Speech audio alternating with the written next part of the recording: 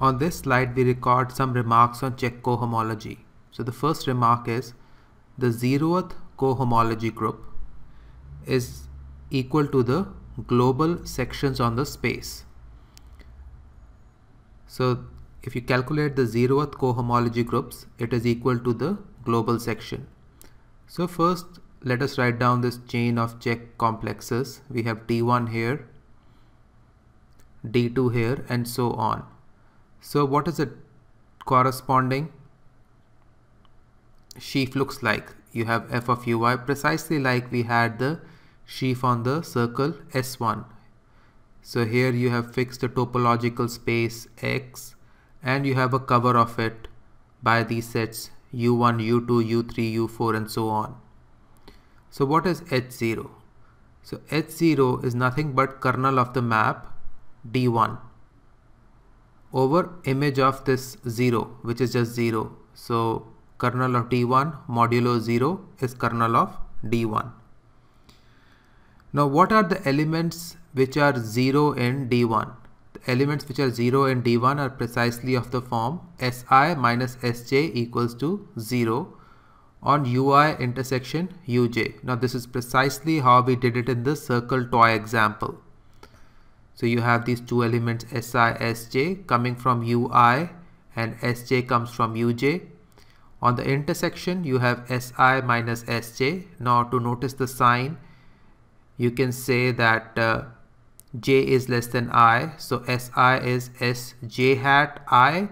Since the 0 index is missing j is at 0 index i is at 1 index. You have minus 1 raised to the power of 0 si j is less than i so the elements lying in kernel of d1 are precisely those elements which agree on the intersection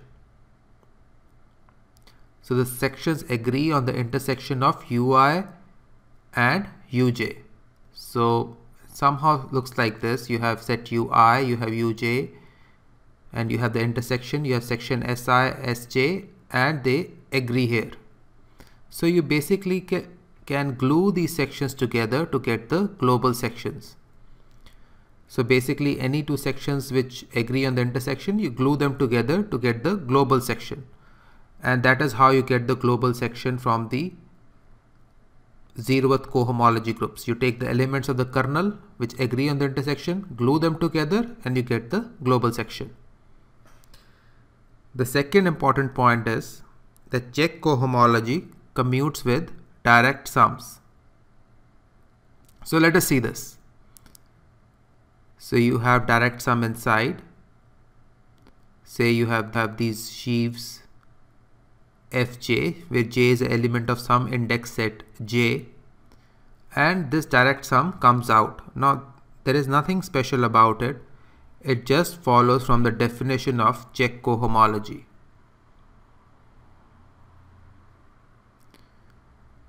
So this basically carries over because the direct sum also comes out in the Cech complex. So you have this Cech complex.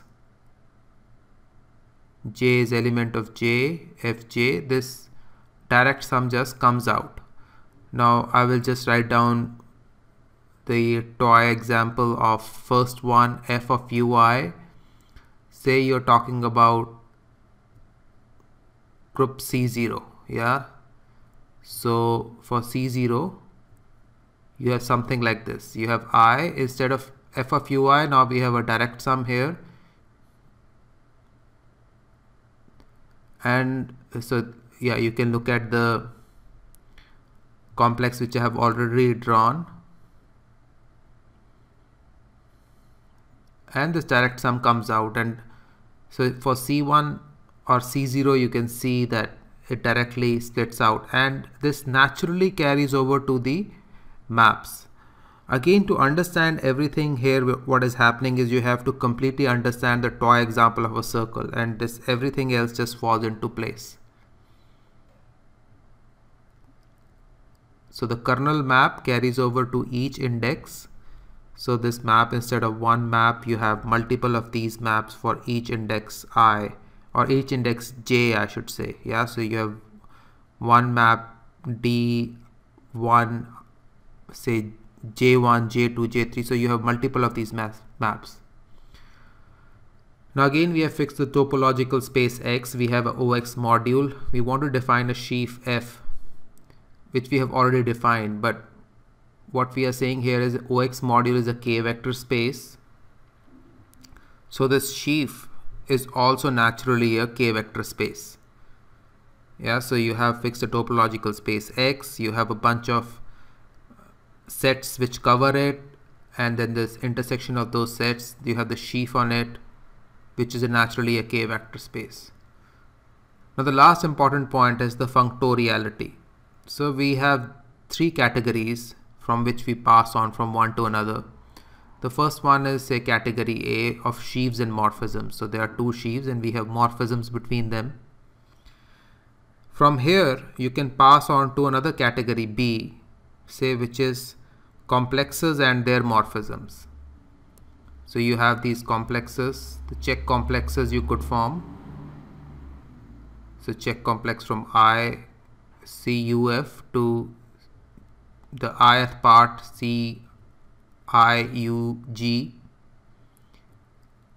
and then from there we can pass on to another complex which is groups and group homomorphisms. So we have these cohomology groups associated with sheaf F and then you have cohomology groups associated with sheaf G. Again the U here is nothing but the cover of the topological space X so U is a bunch of sets.